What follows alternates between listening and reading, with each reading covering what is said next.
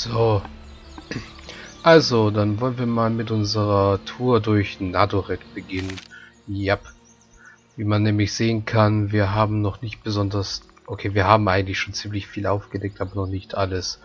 Es gibt noch ziemlich viele Gebiete, die fehlen. Wir waren zum Beispiel auch noch nicht im Torwaller Lager. Und so weiter. Aber das erste, was wir noch machen, ist kurz mit Laurelin sprechen, und zwar über das Werwolfsproblem. Willkommen. Ich freue mich, dich zu sehen. Ja, die Freude ist was ganz meinerseits.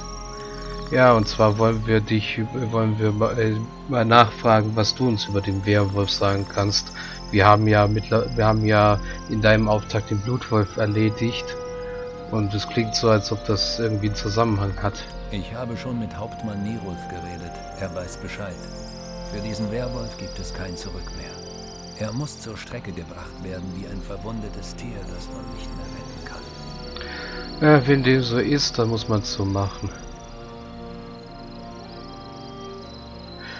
Aber kannst du mir noch mehr darüber erzählen? Leider ist es für dieses Wesen zu spät. Die Kräfte der Marder alleine würden ihn nicht morden lassen. Es muss noch etwas anderes dahinter stecken. Äh, wäre es dann vielleicht nicht äh, gut, den Grund herauszufinden, was dahinter steckt? Okay, was sollen wir dagegen tun? Ich werde in den Wäldern Ausschau halten. Hilf du Nirulf. Sein Iyama ist hell und er braucht unsere Hilfe. Mhm. Ich kann immer noch kein Elfisch, aber gut. Gut, ich werde deinem Rat folgen und Nirulf helfen. Also, so viel dazu. Aber es gibt noch mehr zu erledigen. Erst einmal werden wir uns Nadoret, also die Stadt selber, genauer angucken. Es gibt einige Orte, in denen wir noch nicht, in denen wir noch nicht drin waren, zum Beispiel der Praios-Tempel. Ich zoome mal ein bisschen näher ran. Also der Praios-Tempel zum Beispiel und bestimmte andere Sachen garantiert auch, wo wir noch reingehen können und etwas entdecken.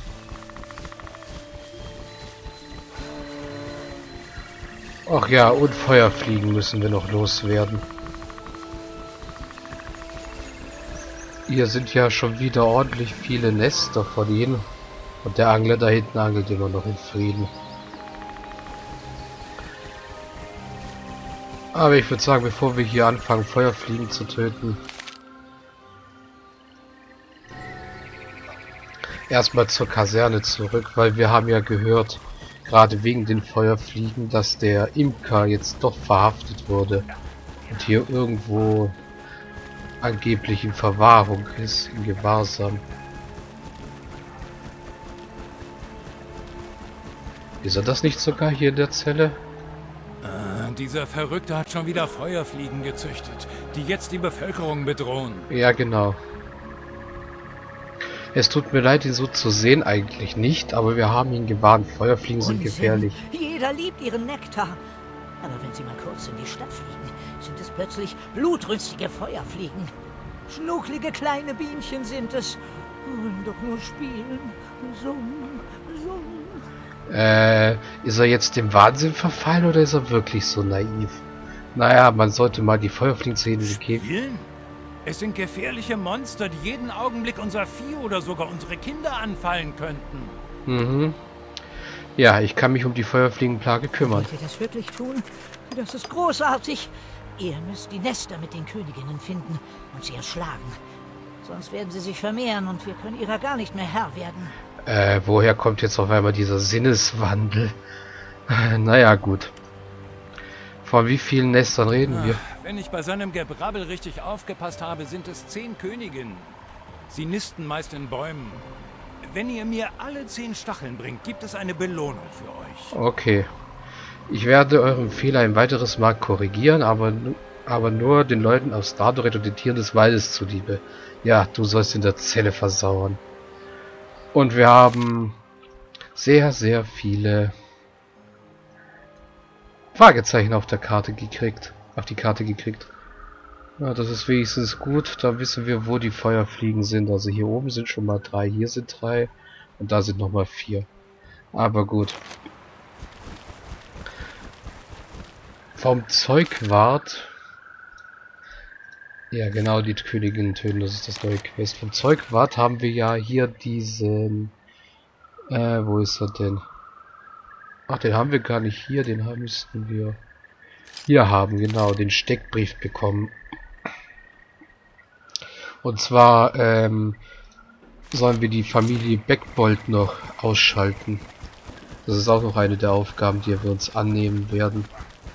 Die werden sich wahrscheinlich auch hier in Majoret rumtreiben. Und vielleicht gucken wir auch mal zur Trollbrücke oder wie die nochmal hieß. Die ist ja hier drüben. Was auf der anderen Seite ist, interessiert mich nämlich auch ein bisschen. Und was hier sonst so ist. Aber das erste, wo wir vorbeischauen werden, falls uns die Feuer fliegen lassen. Ich glaube, wir werden die hier gleich ausräuchern, weil sonst respawnen die, glaube ich, auch immer wieder. Genau, die hier.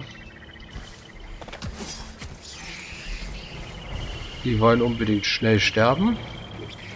Also lassen wir sie schnell sterben. Die sind nämlich... Ah, Feuerfliegen sind eigentlich keine Gefahr. Zwei Lebensenergie. Ist nur eine Verschwendung von Pfeilen, aber sei es drum. Schalten wir sie lieber schnell aus, bevor sie weiter nerven.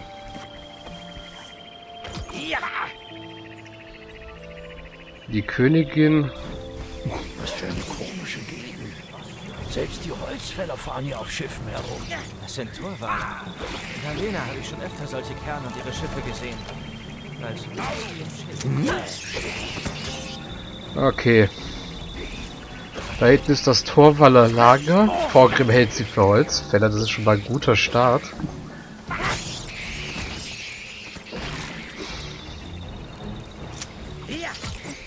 Nebenbei, wir haben doch, beziehungsweise Feiris hat ja eine neue Fähigkeit. Die sollten wir gleich mal äh, Fernkampf hier unten hinpacken. So. Vorgrim hat... Hat Vorgrim noch was Neues? Nein, der hat nur den defensiven Kampfstil gelernt. Und Koano hat leider auch nichts Neues.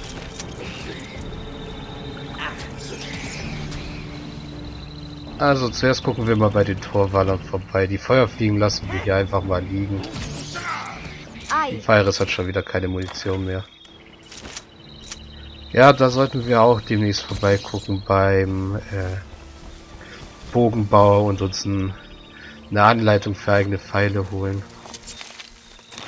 Und mehr Einbeeren sammeln. Ich habe ja alles für Einbe alle Einbeeren bereits verbraten, die ich hatte. Aber die Einbeersäfte haben uns schon, vor allem bei dem Dämon, ziemlich den allerwertesten gerettet.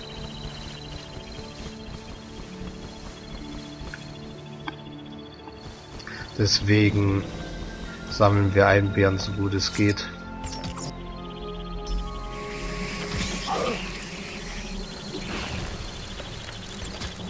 Mann, sind das Feuerfliegen. Kein Wunder, dass, dass das so ein Problem ist, wenn da so viele Feuerfliegen in diesen Nestern drin rum. Aber sie fallen, fallen zum Glück wie die Fliegen. Ja, toller Wortwitz, ich weiß. Na gut, was erwartet man auch bei zwei Lebenspunkten? Abenteuerpunkte geben sie eh keine. Dann können sie also auch schnell sterben. So. Äh, ich bin mit Feuerfliegengift vergiftet. Also kann Feiris das ruhig mal wegheilen. So. Letzter Baum, äh, letzter Bienen, letztes Feuerfliegennest hier. Jetzt sage ich schon Bienen dazu.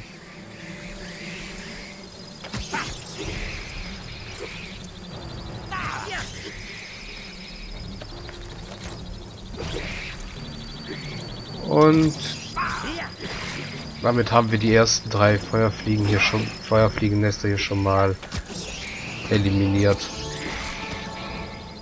Sind also nur noch sieben. Und sind auch gleich bei den Torwallern. Dann können wir ja mal herausfinden, was die hierher treibt. Es ist nämlich ungewöhnlich, dass Torwaller so tief in den Süden kommen. Und dann so friedlich außerhalb der Stadt kampieren. So. Die Einbeeren habe ich schon gepflückt.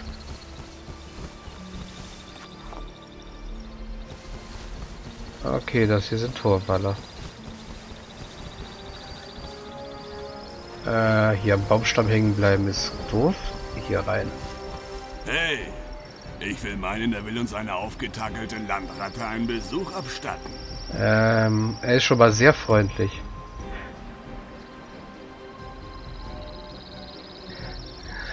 Okay, wir könnten jetzt gerade in äh, zwergischer Soldatenmanier ihm den Konter verpassen. Und das machen wir auch, das sind Torwaller. Mit denen diplomatisch vorgehen kann man nicht so wirklich.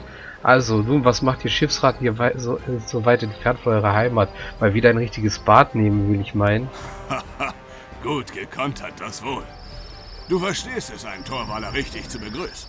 Ja, das ist die Kriegermentalität. Wenn sich zwei Krieger in die Augen sehen, verstehen sie sich oder so ähnlich. Nu, wenn du was willst, red mit Ino, dem Moha da hinten. Der hat hier das Sagen. Ah ja. Gut, hast du uns noch was zu sagen?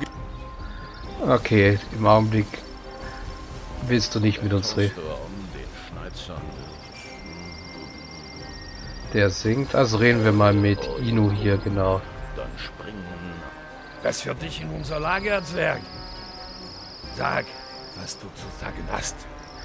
Äh, der klingt irgendwie, ich weiß nicht, was für ein Akzent das ist. Auf jeden Fall klingt er nicht so, nicht so, wie er aussieht.